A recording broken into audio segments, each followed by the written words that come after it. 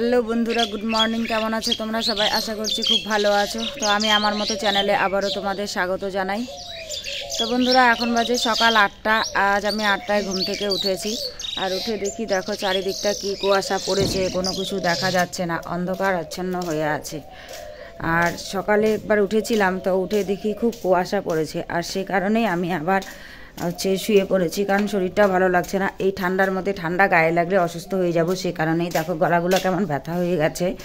তো সেই জন্যই আমি গিয়ে আবার শুয়ে পড়েছি। তো শুয়ে পড়েছি, একটু দেরি করে উঠলাম। আর আমার কর্তা উঠে পড়েছে সকাল সকাল। ও উঠে বেশ কিছু কাজ এগিয়ে রেখেছে আমার। আসলে আমার তো ঠান্ডা লাগছিল, উঠতে দেরি হচ্ছিল। তো সেই কারণে ও উঠে দেখি অনেকগুলো কাজ করে রেখেছে। কি কাজ করে রেখেছে, চলো তোমাদেরকে দেখাচ্ছি। এই দেখো। বালতিতে করে জল এনে রেখেছে, হাঁড়িতে জল এনে রেখেছে, চাল ভিজিয়ে রেখেছে, এই দেখো ধনে পাতা বেছে রেখেছে, আর হচ্ছে এগুলো সব এগিয়ে রেখেছে। আসলে আমাদের তো জলের কষ্ট তোমরা সবাই জানো, তো সেই জন্যই। আর এই দিকে হচ্ছে কুয়োর পাড়েও সব বালতিতে জল টল ভরে রেখেছে। আসলে ও যেহেতু সকাল সকাল উঠেছে, তাই এই কাজগুলোকে এগিয়ে রেখেছে। আর ও সকাল সকাল উঠলে অবশ্য কাজ করে, না করা নয়। উঠে তো আমাদের উঠতে দেরি হচ্ছে, চা খেতে দেরি হচ্ছে বলে দোকানে চা খেতে বেরিয়ে চলে গেছে। এখনও আসেনি। তো আমরা এখন হচ্ছে সব চাটা খেয়ে তারপর রান্নাবান্না জোগাড় করব। আর দেখি মোড়ে যেহেতু গেছে, তো কিছু না কিছু তো নিয়ে আসবে। কি নিয়ে আসে তারপর সেটা দিয়েই হচ্ছে রান্না হবে। তো চলো, তোমরা আমার সাথে থাকো আর দেখতে থাকো। কি করি না করি সবটাই তোমাদের সঙ্গে শেয়ার করব। তো চলো, এখন চা করব। তারপর চা খেতে খেতে আবার তোমাদের সামনে আসব। তো দেখো বন্ধুরা, দেরি হয়ে গেছে বলে আমি এক উনুনে ভাত বসিয়ে দিয়েছি আর আর এক উনুনে হচ্ছে চা বসিয়ে দিয়েছি। আসলে যেহেতু দেরি করে উঠেছি, তো হচ্ছে দেরি হয়ে যাবে। বাবু চা খাওয়ার জন্য বসে আছে কাকু বসে আছে সেই জন্য। সেই জন্য এখন উনুনে ভাত বসিয়ে দিয়েছি, নাহলে তো ভাত হতে দেরি হয়ে যাবে, কারণ সকাল নটার সময় উনি আবার ভাত খায়। মানে ওনার ভাত খাওয়ার অভ্যাস সকাল নয়টায়। আমরা বাড়িতে থাকলে তো আমাদের কোনো ব্যাপার না দেরি হলেও। কিন্তু বাড়ির কর্তা নটার সময় ভাত লাগে সেই জন্য। তো সেই জন্যই এখন উনি ভাত বসিয়ে দিয়েছি, ওটা ভাতটা হতে থাক। আর একদিকে আমি চা বসিয়ে দিয়েছি। চা হয়ে গেলে আমরা চা খেয়ে নেব। আর হচ্ছে বাবু বসে আছে, চা হোক, তারপর হচ্ছে খাওয়া দাওয়া করব। আর ও এসেছে, তো মোড়ের থেকে কি আনবে দেখি। তো তারপর ডিসিশান দেবে, বাকি রান্না তারপর। আর এখন হচ্ছে ধনে পাতা চাটনি করব, আর বেগুন ভাজবো, দিয়ে সকালের খাবার খাবে। এসেছে খালি হাতে কিছু আনেনি, পরে হয়তো আনবে।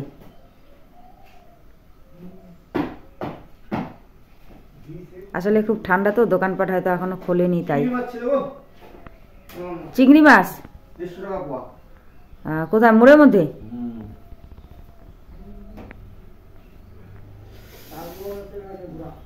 শুধু চিংড়ি মাছ বলে মোড় থেকে ঘুরে চলে এসেছে। কোনো মাছই আনলো না। এখন আবার যাবে মোড়ে। যেতেও পারে। দেখো বন্ধুরা আমার মেয়ে ঘুম থেকে উঠে পড়েছে। আমরা এখন বিড়ি বিড়ি করে আসলাম। এখন সনক মুখ ধুবে তারপর চা খাব। তারপর। রেডি হবে। এই কাশি হয়েছে। আমরা এখন কাশি ওষুধ আনতে হবে। চমকি।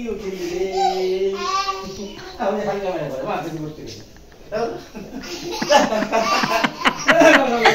কি বললা আবার? হামাইছি। বাহ, দেয় গলায়। এরা মাটিতে বসাইছো কেন ওকে? নামে না? বেঁচে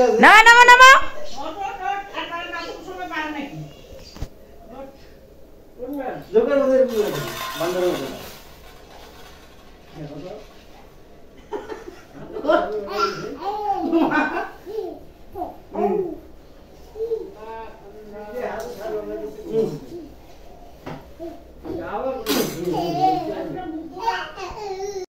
তো দেখো, আমার সকাল সকাল ভাত হয়ে গেছে। এই যে এখানে ভাত নামিয়ে নিয়েছি। এই যে গরম গরম ভাত। আর এই যে গ্যাসের উপর দেখতে পাচ্ছ এটা হচ্ছে কালকের বাসি তরকারি। আসলে অনেকটাই তরকারি আছে, তো মাছের তরকারি ফেলে দিয়ে আর কি করব? দেখো মাছও আছে। কালকে ফলি মাছ রান্না করা হয়েছিল আর রাতের বেলা যেহেতু ফ্যান ভাত খাওয়া হয়েছে, তাই মাছের তরকারিটা আর খাওয়া হয়নি। যেভাবে ছিল সেভাবেই আছে। তো এত- এতটা তরকারি ফেলে দেবো, তাই আর ফেলে দিইনি। তো তরকারিটাকে এখন জাল করছি আর শুধু এখন ভাত করে নিয়েছি, এটা দিয়ে সকালের খাওয়া হবে। আর ওই যে বাটিতে ধনে পাতা বেটে নিয়েছি। ধনে পাতা বাটা, কালকের বাসি মাছের ঝোল।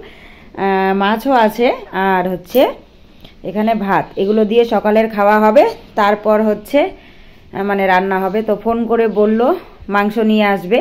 তাই আমি এদিকে মাংস রান্না করার জন্য, এই যে আলু কেটে নিয়েছি, পেঁয়াজ কেটে নিয়েছি, এই যে রসুন ছুলে নিয়েছি।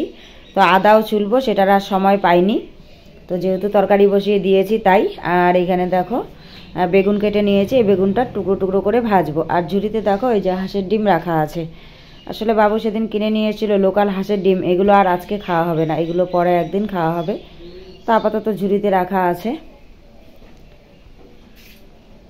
আর চা খাওয়া হয়েছে। দেখো, চায়ের বাসনটা এখনও ধুইনি।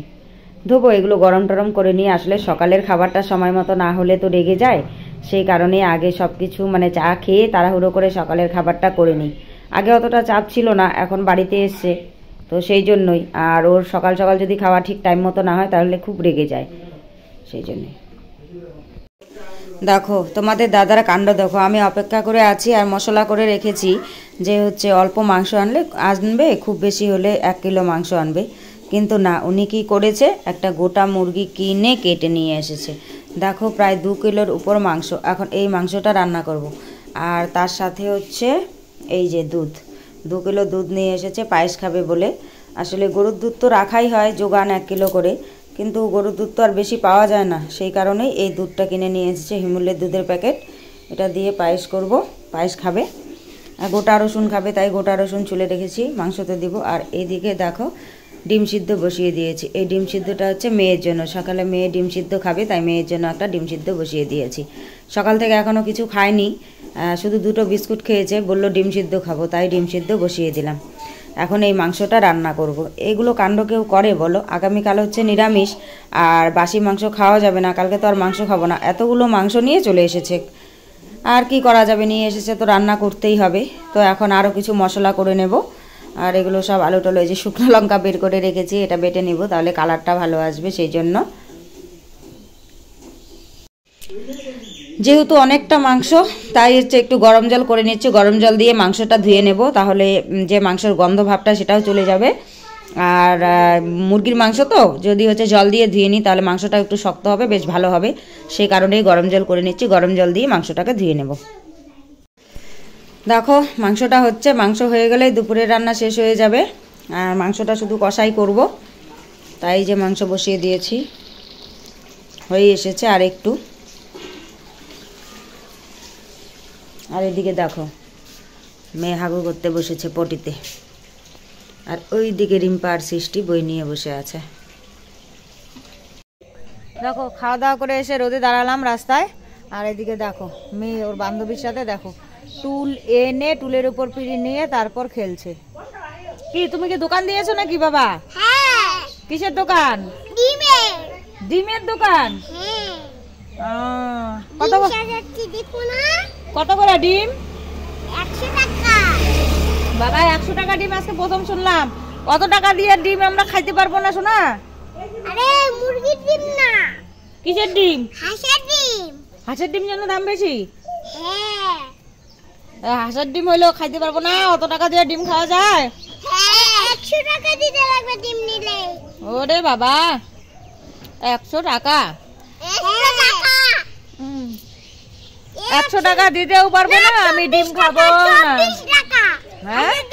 হাঁসের ডিম চব্বিশ টাকা। হাঁসের ডিম চব্বিশ টাকা? হ্যাঁ। এখন একশো টাকা থেকে চব্বিশ টাকা হয়ে গেল। মোবাইলের দিকে টাকা। আমি ওই মোটর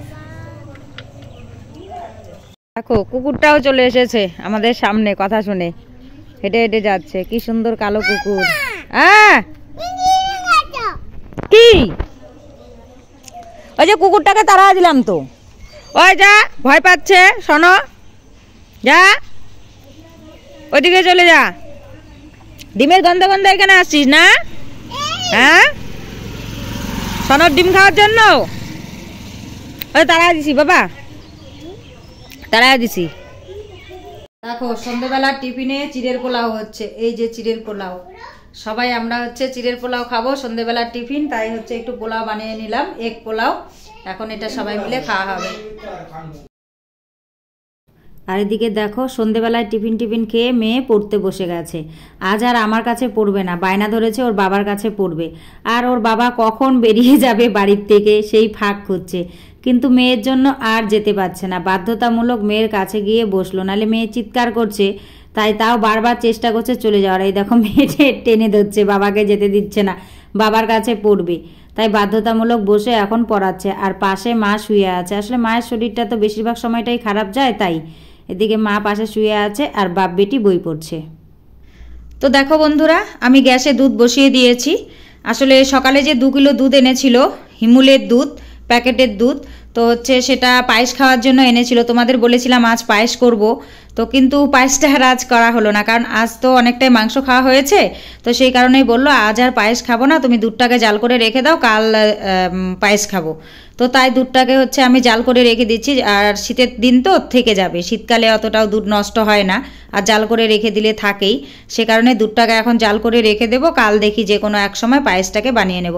আসলে আজকে অনেকটাই রিচ খাবার খাওয়া হয়েছে, সেই কারণেই আজকে আর পায়েসের ঝুঁকিটা নিলাম না। যতই হোক একটু ইয়ে করে খাওয়া ভালো, তাই না বলো? কারণ কখন কার কি হয়ে যায়, গ্যাস, অম্বল বলা তো যায় না। সেই জন্যই, তো সেই জন্যই আজ আর পায়েসটা করব না, আজ দুধটাকে জাল করে, সুন্দর করে জাল করে রেখে দেবো। রাত বাজে সাড়ে নটা, আমি বসে বসে দুধ জাল করছি এখনও কিন্তু খাওয়া দাওয়া হয়নি। আসলে ও এখনও আসেনি তো অনেক দিন পর বাড়িতে এসেছে, তো মরে গেছে। এবার অনেক বন্ধু বান্ধবের সঙ্গে দেখা হয়েছে, সবার সঙ্গে গল্প, গুজব, আড্ডা দিচ্ছে। সে কারণে হয়তো এতটা দেরি হচ্ছে। তো আমি তাও ফোন করলাম, বলল যে আসছি দশ মিনিট অপেক্ষা করো। তো ততক্ষণের জন্য আমি দুধটা জাল করে নিচ্ছি। তো যাই হোক, আজ যেহেতু অনেকটাই রাত হয়ে গেছে, তো তোমাদের সঙ্গে পরে আবার কখন আসব, না আসব, খাওয়া দাওয়া করে তাই এখন চলে এলাম। তো হচ্ছে কি বলো তো রাত যেহেতু অনেকটাই হয়ে গেছে, তাই আর আজকের ব্লগটা বেশি বড় করছি না। তো যারা আমার চ্যানেলে পুরনো আছো, তাদেরকে আমার মন থেকে রইল স্নেহ, প্রীতি ও ভালোবাসা এবং অসংখ্য ধন্যবাদ। আর যারা নতুন আছো, আমার ভিডিওগুলো দেখছ, দেখে যদি তোমাদের একটুও ভালো লাগে, তাহলে প্লিজ একটা লাইক করো। আর আমার এই চ্যানেলটিকে সাবস্ক্রাইব করে আমার এই ছোট্ট পরিবারের সদস্য হয়ে যেও। এই আশা রাখছি, এই আশা রেখেই আজকের ব্লগটা আমি এখানে শেষ করলাম।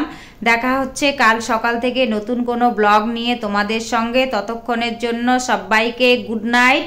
সবাই ভালো থেকো, সুস্থ থেকো।